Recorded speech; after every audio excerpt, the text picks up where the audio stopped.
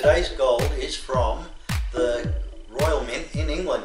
And this coin is again from the Queen's Beast and it is a quarter ounce of gold again and it is the White Horse of Hanover. And this is our little white horse. So guys, give us a thumbs up. It really, really helps with the channel. Or you could like, subscribe and turn on those post notifications and go and check out our Insta at 2views9. So guys, give us a second, like usual, and we'll set this coin up and show you all about it. Hi guys, we're back with the Royal Mint 2020 Queen's Beast White Horse of Hanover.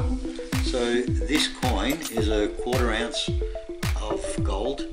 That means that it weighs out to be 0.25 troy ounces and that makes 7.8 grams. The purity of the gold is 4 nines. The diameter, again 22 millimeters and the thickness 1.6 so if you saw the last video it's exactly the same size coin. Yes, and also the Queen's Beast horse, um, the hound, uh, uh, the greyhound, and the lion are all in like a little Series that they've series that they've got. Yeah. So the white horse here seems to be rearing up over a shield. Shield. Does it say what shield it is? No, it doesn't say No. shield. Um, I'd like it if the English Mint would like sort of tell us where they got the inspiration of the shield. or if you guys know what sort of shield, Shield it it is, is. leave a comment down below and let us know. Yep.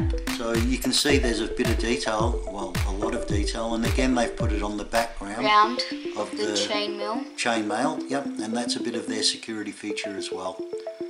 And it's a very beautiful horse. It is. On Very the other detailed side, as well. on It's the the same side, picture of Lizzie. Yeah, it seems to be the middle-aged version of Queen Elizabeth on this one again. And again, this is a $25 value, English value, or pounds. And again, it's got written Elizabeth II, DG, REG, FD around the coin.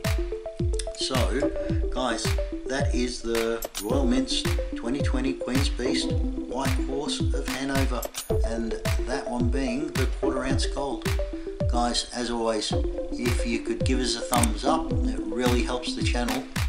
And we Love ya.